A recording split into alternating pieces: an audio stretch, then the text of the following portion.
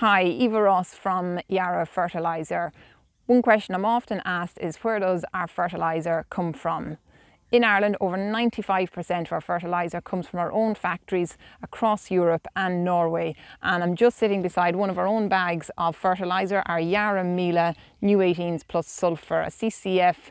And you'll see down here in the bottom right hand corner the code GLO and that refers to our own factory Glomfjord situated in northwest Norway. And this particular fertiliser has come in on a 4,000 tonne shipment into Belfast port. We ship into two ports in Ireland, Belfast and Ringaskiddy but this particular fertiliser has been shipped into Belfast um, and then bagged at our local store then Moira. And if I just bring you up here then to our liner bag and the traceability code on it, you'll see that it begins with M and that refers to our Moira store where it's been bagged and then the code then refers to the actual batch from Glomfjord factory where it has been produced. So um, we sh uh, ship it into our ports and then we bag it at our three sites, Belfast, Ringaskiddy and Moira and then we deliver it out uh, to our network of distributors across Ireland. So for more information, please log on to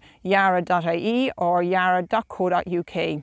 Just would also like to take this opportunity to say a sincere thanks to our colleagues, not only at our Glomfjord production site, but all our sites across Europe and also our shipping partners, our haulage depart, uh, partners and our dispatch colleagues, all for uh, getting our fertiliser out to, to our uh, customers during these adverse times. Thank you very much, stay safe and hope to speak soon.